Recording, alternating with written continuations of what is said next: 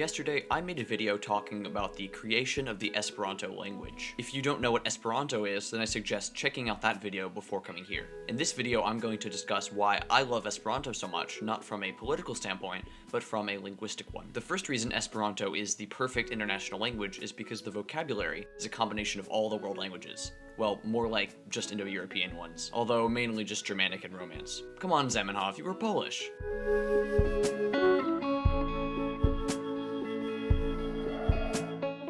Another reason Esperanto works so well is because it's entirely phonemic. In English, pronunciation can be a nightmare for foreign students when it comes to long multigraphs of letters that stem from long lines of evolutionary patterns. With Esperanto, one letter is assigned one phoneme or sound. Many are pretty straightforward, but the ones that stand out are J, which makes the y sound, R, which sounds more like the Spanish R than the English one, and C, which makes the ts sound. For example, Jaro, Rapida, Centro, there are also diacritical letters that are formed by slapping a circumflex over an already existing letter. For example, ts becomes ch, g becomes j, y becomes j, s becomes sh, and h becomes ch which is a non-English sound, but only used in rare loanwords. And this one still confuses me, but adding a breve to the letter U sounds like w. Still don't get why they couldn't have just used the letter W, but whatever. If you can't type these letters, then you can just use X notation by writing an X after the base letter.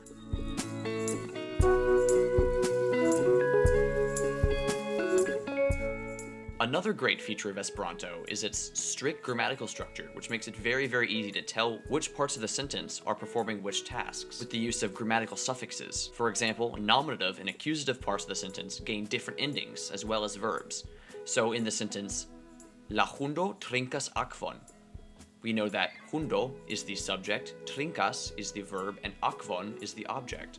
We know this for reasons I'll get into in the next part. All nouns in Esperanto end in the letter O, which is its identifier. Nouns can be made plural by adding a J to the end of the word, but remember that all adjectives describing it will also need to become plural. Remember that J in Esperanto is just like Y in English, so it is used to form diphthongs. For example, OJ sounds like oi in boy, and AJ sounds like I in Y. Esperanto also has a unique accusative marker, which we don't have in English, but can make dissecting a sentence easier when the word order is strange. When a noun is the object of a sentence, an N is placed after the O or after the J if it's plural.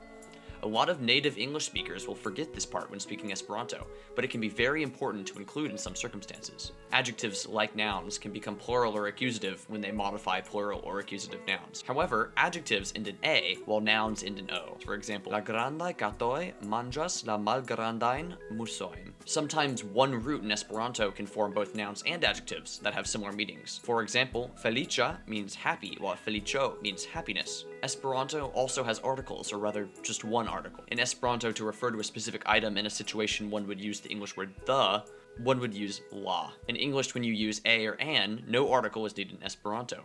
For example, mi havas libro means I have a book.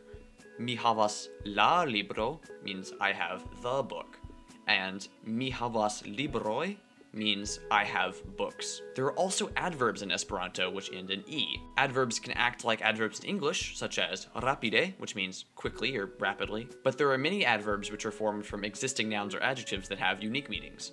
For example, urbe can mean in the city, and tage can mean in the day. Finally are verbs, which are slightly more complicated than the other parts of speech because they need to be conjugated. But the conjugation is nothing like other languages because there are only five conjugations and the infinitive. An infinitive is the base form of a verb and can act as a noun. The English equivalent is to plus a verb. For example, manĝi means to eat. Infinitives in Esperanto always end in the letter I. Past, present, future, and conditional all also get special conjugations. I ran is mi kuris, I run is mi kuras. I will run is mi kuros, and I would run is mi kurus. The final conjugation is the imperative, which is how you give commands, and has the ending u, such as the website Lernu, which is a great source for learning Esperanto. Okay, quick recap. All Esperanto letters represent one sound with no exceptions. All words have a root and many suffixes that tell things about the grammar. The O suffix represents nouns, the A suffix represents adjectives, the E suffix represents adverbs, the J suffix represents plural nouns or adjectives, the N suffix is placed on the object of the sentence and any modifiers, the AS suffix is placed on present tense verbs, the IS suffix is placed on past tense verbs, the OS suffix is placed on future tense verbs, the US suffix is placed on conditional verbs when one would do something, the I suffix is placed on infinitives, and the U suffix is placed on imperatives. It seems like a lot, but that really is most of the grammar in just a short list of suffixes.